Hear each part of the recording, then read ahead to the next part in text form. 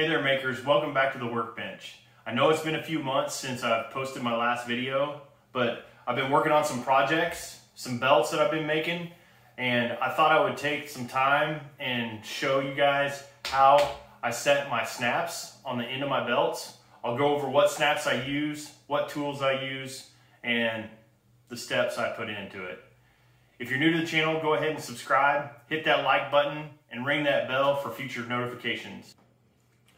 Okay, for the tools that I'm gonna use, I'm gonna use a number one CS Osborne hole punch, which is a 332nd, and then a number five CS Osborne punch, which is an 1164th. To set the snaps, I'm using the snap setters that I got from Ohio Travel Bag that work well with their snaps.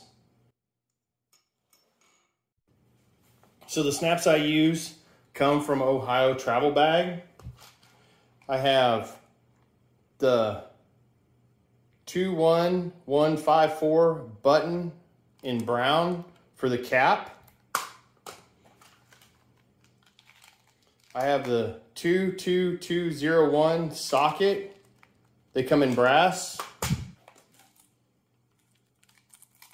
Then the 22413 it's the capped eyelet. And the last one is 22321. It's the stud, and it comes in brass. I've found that the snaps from Ohio Travel Bag work the best to get the greatest results. Okay, to start out, the first step in the process, we're going to mark our holes.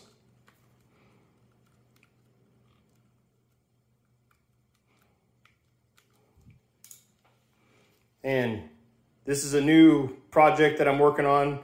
Be sure to subscribe. Hopefully I'll be talking about these in future videos. So I've got the holes set. We're going to use the posts on this end and we're going to set the caps on that end.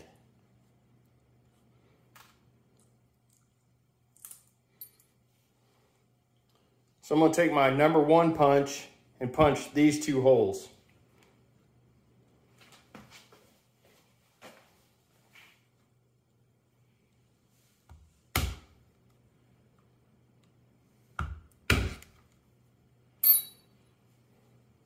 Then I'm going to use my number five to punch these two holes.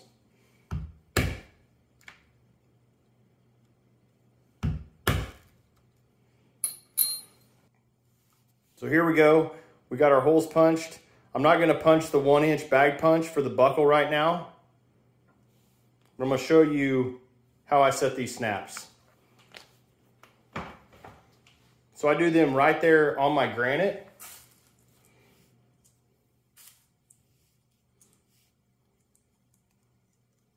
So I'm gonna set my two studs in the holes. I'm gonna flip it over. I'm gonna set the caps right on there. I'm gonna take the setter from Ohio Travel Bag and just a cobbler's hammer. I'm gonna set that right on there.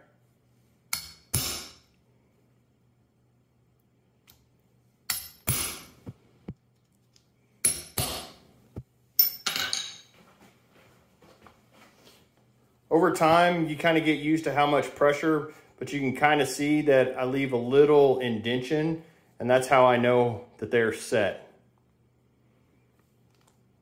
Now, here's the key to setting the sockets. So I go ahead and put my socket right on the cap. And then I fold over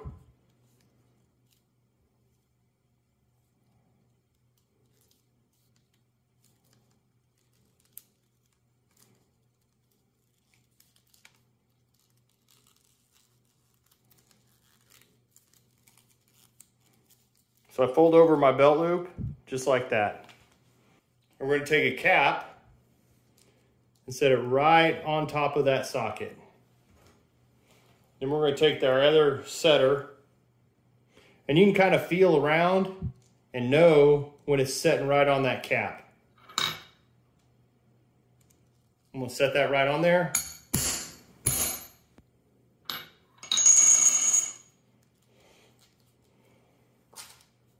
And then repeat it for this other side.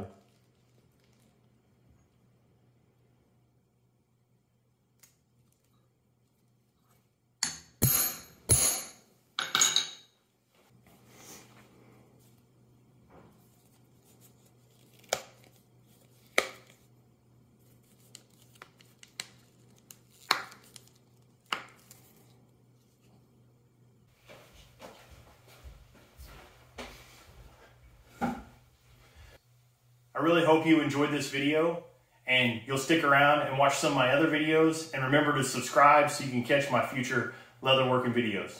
Thank you.